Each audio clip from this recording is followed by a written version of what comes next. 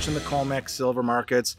We know now from how you've shown us exactly that this market and the, the, the COMEX is actually broken. What, what do you expect from this and how long uh, can this continue? Good question again. Um, um, having evidenced these major dislocations between the paper market and the physical markets, we need to look at the changing dynamics, which is caused by large these recent large liquidity flows out of the COMEX non-delivery markets into an ever more liquid physical market.